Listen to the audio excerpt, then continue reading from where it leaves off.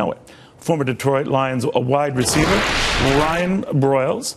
Now, Ryan made a little bit of publicity here when it was discovered that despite all that money he was making, multi-million dollar contracts, the last one paying him, I think, in the vicinity of 600 grand or so, he was living like he was making 60 grand. Do I have that right, Ryan? I think it's about that, right? Yeah, that's correct. Why so tight to the vest?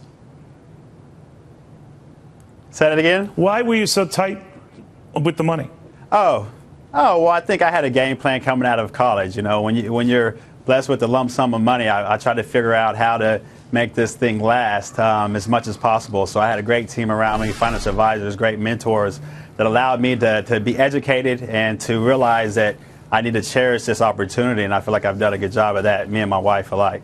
All right, right out of school. I mean, you were looking at a, you know, you know, multi-million dollar contracts. Uh, you're a free agent right now, but you've had some injuries, and, and maybe you saw that as a possibility that all these winnings could, could evaporate. Was that behind your thinking?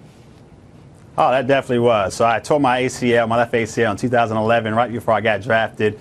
Um, and from that point on, I really started thinking about the future. Didn't know if I was going to make it back.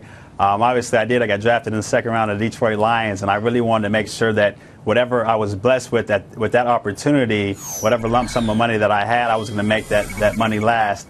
Um, so it's been an awesome experience. It's been it's been tough at times to really just sit back when your teammates and um, friends are driving nicer cars, bigger houses, and things like that. But at the end of the day, I know my end goal. Um, I'm not just looking at this year or next year. I'm looking at 20 years down the line, and um, I pretty much set my wife up and my, myself and my child up um, to have a fruitful uh, future ahead of us. All right, so uh, we, we should talk. You're living on sixty thousand. That's the net. You're living on that net, so it really would probably translate into maybe eighty thousand.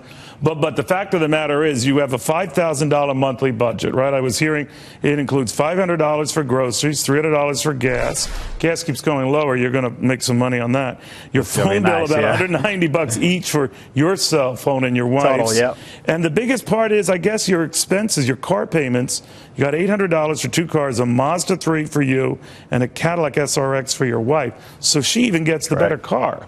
Um, Oh, but does she she, ever it. say, hey, come deserves it." on, you're a big star, splurge, you've got some moolah there, spend it? No, believe it or not, you know, um, I was kind of the guy that would want to spur, splurge, and she's the one that's more financially smart than I am. um, so I've taken a lot from her, to be honest, you know, so we make a good team. Do you, are you putting this money away, socking it away? Uh, you planning on kids down the road, any of that? Oh yeah, I do have a three-month-year-old, um, so we're excited that he's just growing like a like a tree stump right now. Um, but he's definitely uh, the, our pride and joy right now to this point, you know. But um, yeah, we sucked away a lot of money. We invested a lot of money. Um, returns are making life that much easier, living off our cash flow and passive income up to this point. So me not having a job right now, um, I, I would love to be back there on the field. Hopefully that day comes here soon. But if not, financially, um, we're pretty much secure and excited about the future. You know, it's a remarkable story, Brian, and you're ahead of so many uh, young, young people in, in so many uh, in so many areas, not just sports. But do you look at these markets and are you tempted to invest in them, or think, hey, this is a buying opportunity, anything like that?